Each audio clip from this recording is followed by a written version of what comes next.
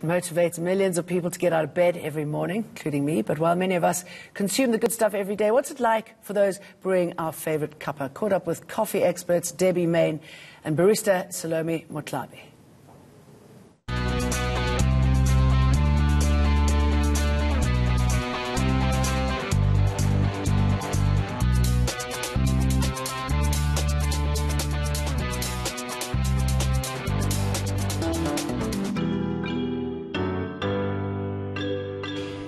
I love my coffee. It helps me get out of bed in the morning, focuses my brain, and makes me really happy.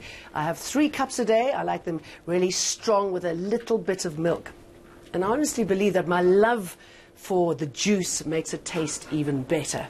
I'm with two ladies who love it as well, Salome and Debbie. They're baristas, and I want to know how you become one.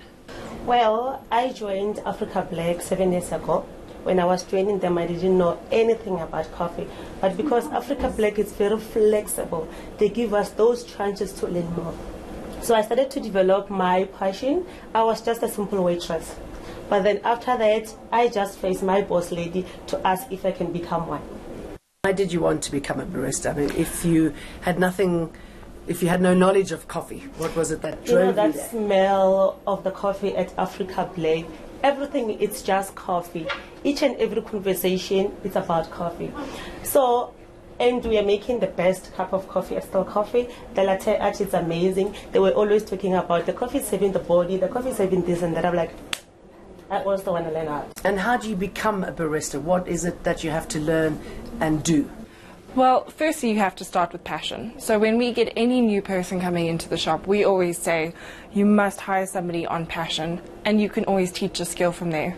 We've got a barista training center, and we've got three different levels. So your entry level is for somebody who knows nothing, and they're just going to come in, learn how to actually switch on the machine, let alone anything else. And then all the way through to the steaming of the milk and introduction into latte art. Then we've got a level two, which then focuses on what I would say would be your head barista. So now this is where we start to play with how many grams of coffee is going to affect the outcome of the actual cup and really get in depth into the flavors. And then we've got a level three, which is aimed at your competition baristas.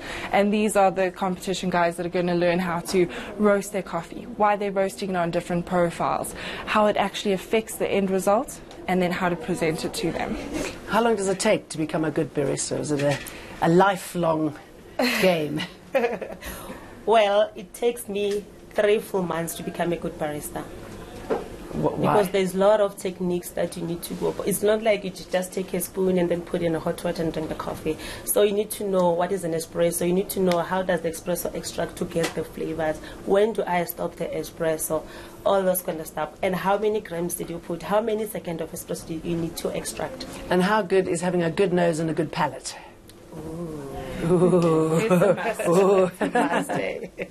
And your personality? How important is that? Personality when it comes to coffee. Hmm. Well, coffee is completely different from one cup to the next, from one varietal to the next. So honestly, anybody can get into it. And we prefer somebody who's going to really sell the coffee to be behind the counter. But if you're in a bad mood, can you make a good cup of coffee? Ooh, yes, you can. might not be, might not taste too good. And, so, and what do you learn about? I mean, when you're learning coffee, what do you learn about um, how you should be grinding the coffee? What are those sort of tips that you need to look out for? So every brewing method needs a different grind method, well, a, different grind size. So the rule of thumb is the longer the brew method, the coarser the grind, because the longer it sits in the water, the more time the water has to actually get into the coffee grinds and extract the flavor. Now, what you'll do is you'll work on a rule of thumb for each of those. So, like for your plunger, it's four minutes. For your espresso, it's 30 seconds. Now, this is where you start to tweak it according to the coffee because every coffee is different. So you might extract one at 28 seconds, one at 22 seconds, and you find that sweet spot. And it's only with playing and practice that you'll find it. And what's the ultimate goal for a barista? Winning barista champs, going to represent South Africa. And how does South Africa do? How do we compare as an industry? Well, I think one of the highest we've ranked so far is 15 in the world. So we're getting there. You know, our industry is a lot younger than other places that, such as in Europe and Central America, but we are getting there.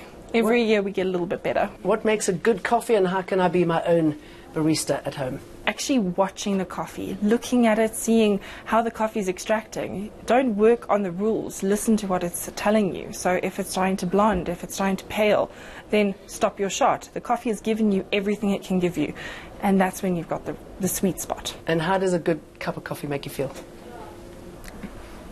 You feel amazing the whole day. Even if someone is trying to tease you, as long as you had a good cup of coffee, you still feel good. You Feel love. You feel love.